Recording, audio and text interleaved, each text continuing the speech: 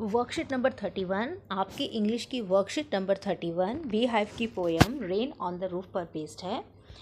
When the humid shadows hover इस poem में जो ह्यूमिड शेडोज़ हैं, वो किसको बोला गया है? बादलों को बोला गया है।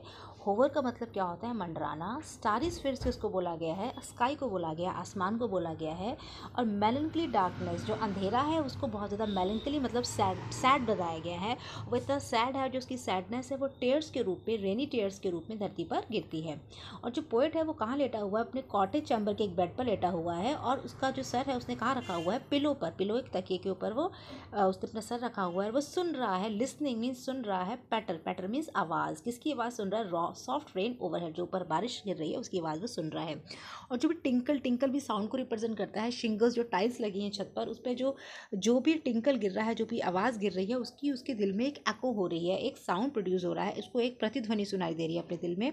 और बहुत सारी ड्रीमी फेंसिस में वो खो जाता है, और थ्री कलेक्शंस का मतलब होता है, बहुत सारी यादें एट थ्रेड इंटू वूफ वो बहुत सारी यादें बुल लेता है। As a listen to the patter वो पोइट कहता है, जब मैं सुनता हूँ पैटर को of the rain upon the roof बारिश की जो आवाज़ है, उसको जब मैं छत के ऊपर सुनता हूँ। Now in memory comes my mother अब मेरी यादों में मेरी माँ आ जाती है। She use in the years agone जो बहुत साल पहले वो करती थी। She to regard the darling dreamers darling dreamers किसको बोला है? बच्चों को बोला है। जो बच्चे हैं जब सो रहे होते थे तो माँ उनके पास आती थी और उन्हें प्यार करती थी और चली जाती थी कहाँ सुबह तक। डॉन मीन्स मॉर्निंग तक। और मीन्स बिफोर इससे पहले वो जाए, वो हमें ध्यान से देखती थी, प्यार करती थी। फॉन्ड लुक अब, आज भी मुझे वो माँ का जो फॉन्ड लुक है, जो प्यार भरा लुक है लुक फुल ऑफ़ लव वो मुझे आज भी याद है और जब मैं सुनता हूँ इस रिफ्रेन को रिफ्रेन का मतलब होता है जो बार बार चीज़ रिपीट हो रही है, क्या रिपीट हो रही है? साउंड ऑफ़ द रेन जो पैटर साउंड है बार बार रिपीट हो रहा है which is played upon the shingles by the patter of the rain तो यहाँ पर ये पोएम आपकी एक्सप्लेन हो जाती है। उसके बाद इस पोएम पर बेस्ड आपको कुछ क्वेश्चन पूछे हैं। पोइट का नाम है कॉट्स किने पोएम का नेम है रेन ऑन द रूफ अब इस पोएम में इसकी राइमिंग स्कीम भी हम एक बार देख लेते हैं। जो पोएम की राइमिंग स्कीम क्या होती है, जो पहला वर्ड है, इस लाइन का लास्ट वर्ड है, इसे होवर इसको हम ए मान लेते हैं। स्फेयर्स और होवर की आवाज़ नहीं मिलती है साउंड नहीं मिलता है तो उसको हम बी बोल देते हैं। डार्कनेस को सी बोल देते हैं, फिर टेयर्स टेयर्स और स्फेयर्स का साउंड सेम है तो उसको हम बी बोल देते हैं। ऐसी पहला वर्ड है पिलो इसको हम ए बोल देते हैं, फिर इधर बेड है, इसको हम बी बोल देते हैं पैटर को हम सी बोल देते हैं, और बेड और ओवरहेड का साउंड सेम है तो फिर इसको बी बोल देते हैं। तो रामिंग स्कीम बनती है A B C B A B C B इस पोएम की क्या है राइमिंग स्कीम है।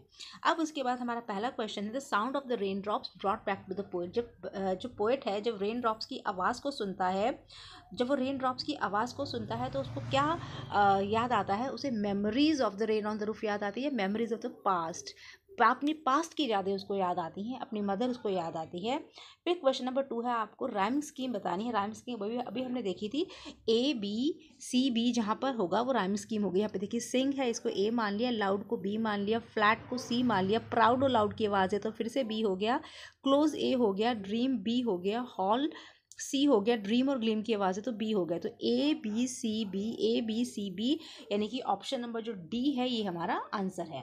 पर्सोनिफिकेशन एक लिटरेरी डिवाइस होती है, जिसपे कोई नॉन लिविंग कोई निर्जीव वस्तु को भी हम इंसान के रूप में बताते हैं ह्यूमन ट्रेड बताते हैं। जैसे कि जो सन है, वो स्माइल्ड एट अस सूरज हमें देखकर मुस्कुराए तो सूरज तो नहीं मुस्कुराता, लेकिन फिर भी हम उसको ऐसा बोल रहे हैं तो इस लिटरेरी डिवाइस को पर्सोनिफिकेशन बोलते हैं। हिंदी में से मानवीयकरण, अलंकार बोलते हैं आप।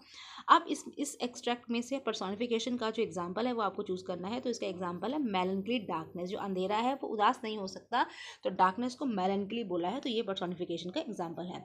फोर्थ क्वेश्चन में होवर होवर वर्ड का मीनिंग क्या होता है? होवर का मतलब होता है यहाँ पे तैरते हुए बादल फ्लोटिंग क्लाउड्स फिर फिफ्थ है मदर लुक्स एट हिम जो कि माँ है, जो पोइट की तरफ़ कैसे देखती है, वो बहुत ही प्यार से देखती है, बहुत ही गुस्से से देखती है एंग्रीली देखती है फॉन्डली देखती है फॉन्डली मीन्स बहुत प्यार से देखती है, बहुत ध्यान से देखती है केयरफुली देखती है रेयरली मीन्स कभी कभार देखती है। तो इसका आंसर वेरी फॉन्डली तो मदर पोइट की तरफ़ बहुत ही फॉन्डली देखती है। इस तरह से आपकी poem rain on the roof पर बेस्ड जो ये एक्सट्रैक्ट था, उसके ये क्वेश्चन आप इस तरह से सॉल्व कर लेंगे।